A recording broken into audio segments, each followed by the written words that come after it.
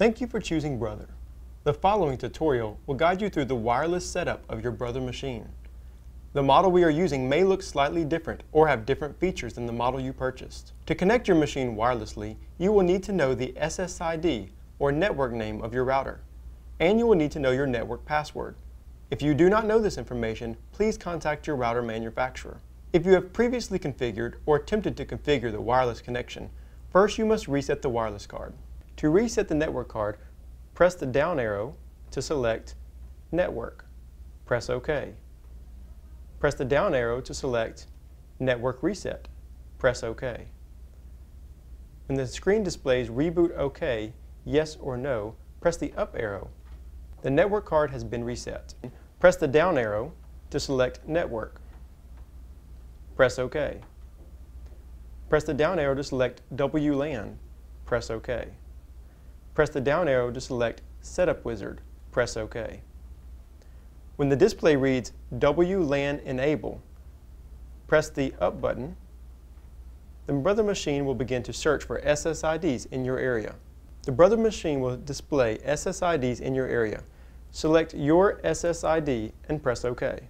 If the machine asks you if you would like to use WPS or AOSS, press the up arrow to select No.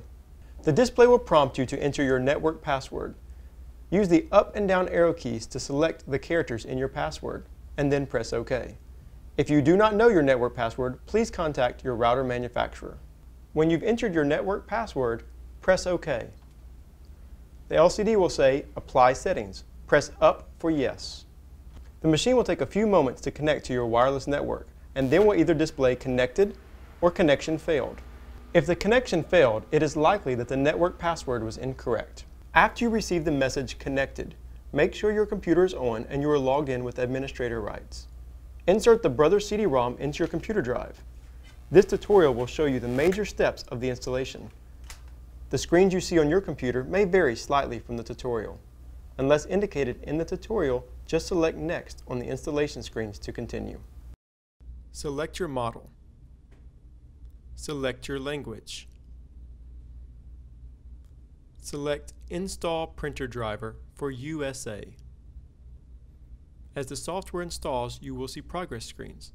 For the connection type, select Wireless Network Connection, then click Next. For the connection method, select Brother Peer-to-Peer, -peer, then click Next.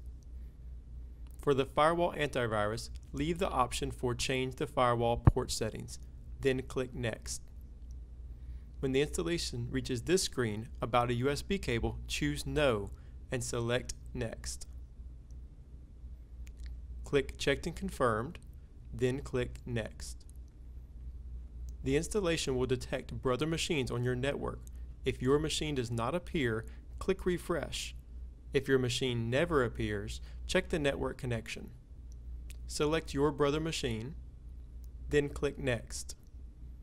As the software installs, you will see progress screens. On the registration page, you can do an online registration. When done, click Next. Make your selection for the default printer.